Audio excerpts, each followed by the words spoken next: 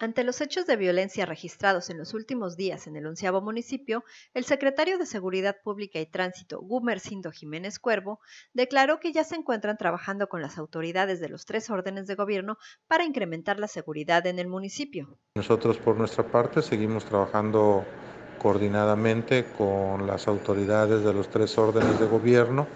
a efecto de incrementar el patrullaje en las diferentes colonias y fraccionamientos de nuestro municipio a fin de poder establecer mayor presencia policial y de una u otra forma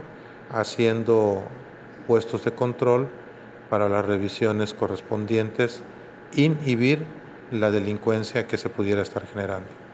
Con el fin de garantizar la integridad de los ciudadanos, se incrementó el patrullaje en diversas colonias como la Cetina Gasca, además de tener más presencia policíaca, sobre todo en escuelas y lugares públicos, puntualizó. Con imágenes de Joel Paul, informó para Notivisión Soraya Huitrón.